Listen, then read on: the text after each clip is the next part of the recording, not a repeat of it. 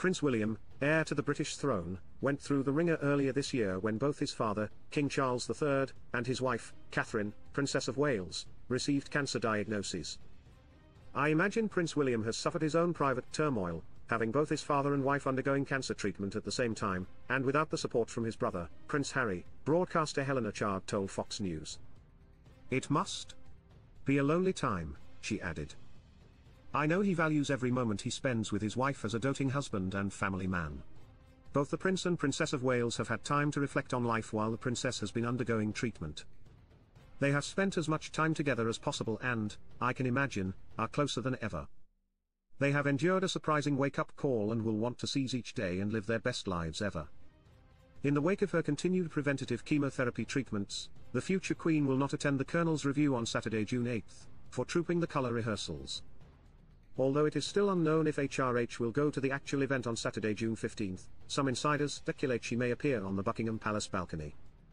As far as when the Her Royal Highness will return to normal royal duties, a Kensington Palace spokesperson also told the outlet, the princess is not expected to return to work until it's cleared by her medical team. Early childhood will continue to be central to her public work. Kate has not appeared in public at an event or engagement since Christmas Day 2023. Meanwhile, King Charles returned to royal public royal duties in late April, and his medical team continues to claim the monarch is doing well with his treatments.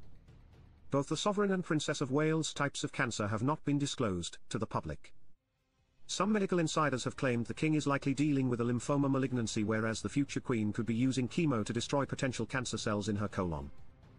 Prince William has stood by his wife and father's sides throughout their ordeals this year, but one royal insider suggests these double blows when added to losing Diana, Princess of Wales, when he was only 15, could have the future king in crisis.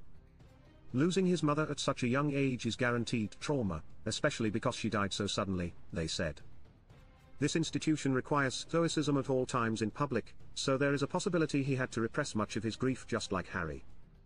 These new cancer scares with the King and Princess of Wales may have awakened all those suppressed emotions, even 27 years later.